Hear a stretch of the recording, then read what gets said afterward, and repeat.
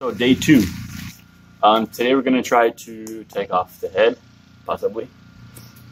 Gotta take off the intake side, take all that off, get it out of the way, move all the electrical wires, and uh, we should be good to go.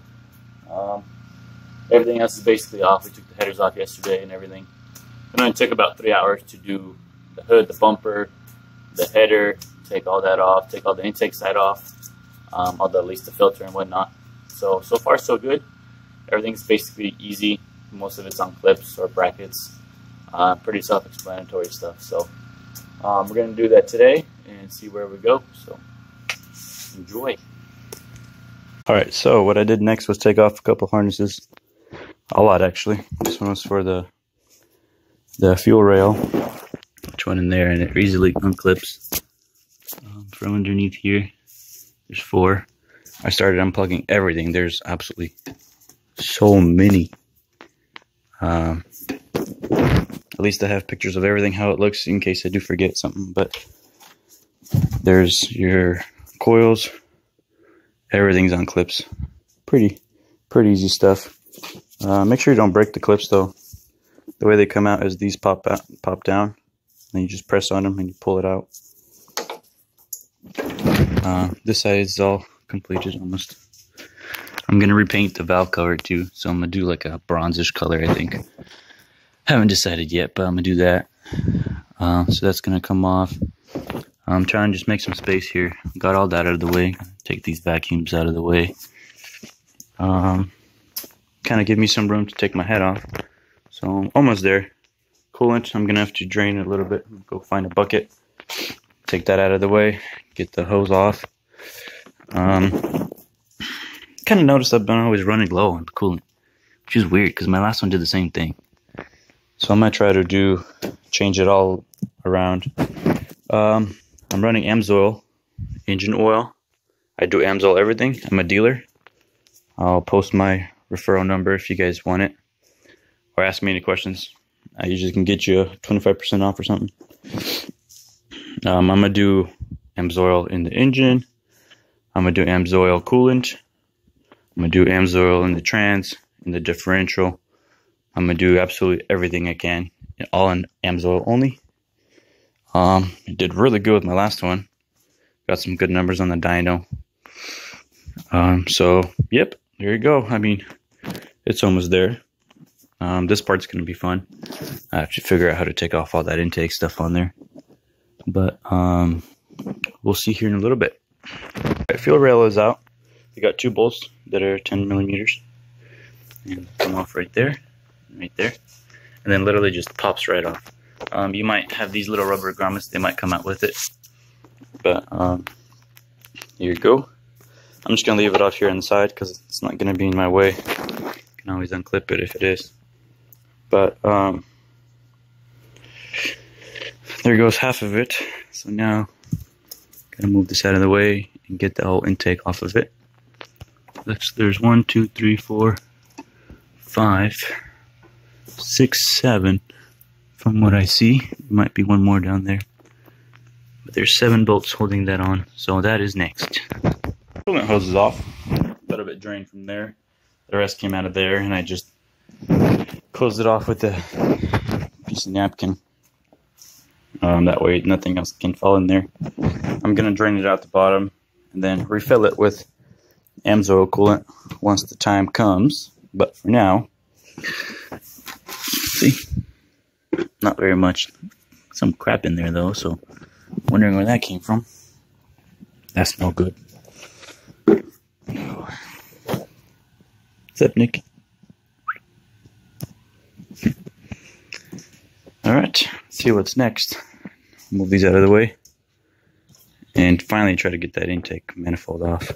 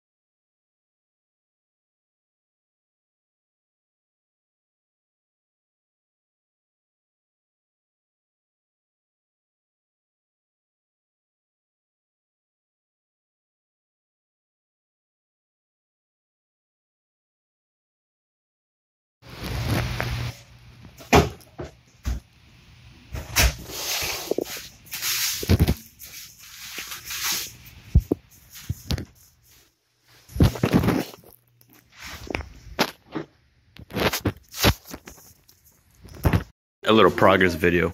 So the valve cover is off. I'm pretty surprised how clean it is. That's what you get when you run AMSOIL. Look at that beauty. Very nice.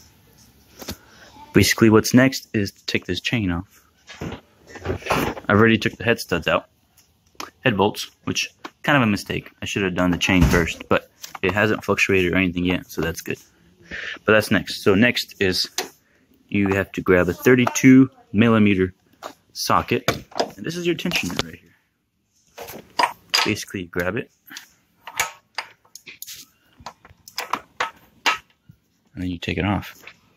It'll be really tight, but that's basically how it's supposed to be. There you go. Then it's supposed to slide straight out, and it's supposed to loosen your belt, your your chain. Um, I'm trying this so I don't have to take away all my gaskets and gear gear cover here. So I'm gonna try to see if this will work and get the chain out of the way. Um, be careful because there is some oil on there. Maybe even grab a napkin, put it underneath so you don't get oil everywhere.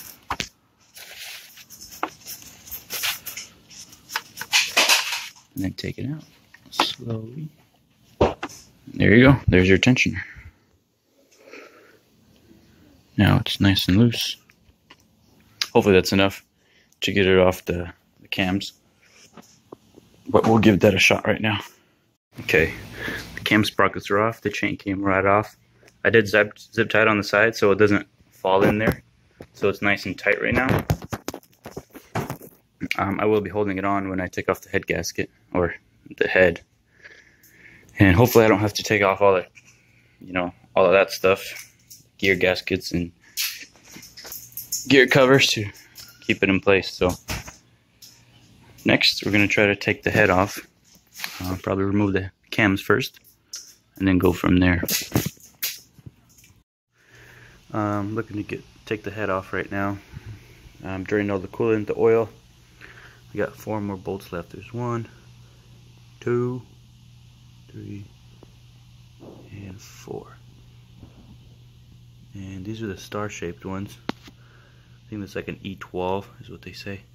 But um, regular 10 millimeter works just fine as long as you're being careful. Since I don't have that other socket set right now. But um, so I'll be taking those off right now, and it should be uh, able to lift up. Update on the head: it is off. Pretty dirty. Time to take the head gasket off and start cleaning the surface. One more thing, the chain, I try to hold the tension on it so it doesn't fall inside, but practically there's no there's no good way of doing it. So um, either way, the timing gear uh, cover is going to have to come off just to make sure everything's aligned and then set the timing correctly. So this is just a zip tie holding it on. You know, there you go. Hardest part was moving the intake out of the way to get the block off, but it came out pretty easy. Here's the head. It's in really good condition from the from the look of it. Um, basically, you can't hold the tension on the the belt because it has to go through this gap. So when you slide it down, that's when I lost my tension. So unless you have a really good way of holding it up and not having it fall, but I don't know if it's really worth the hassle. So, but there you go.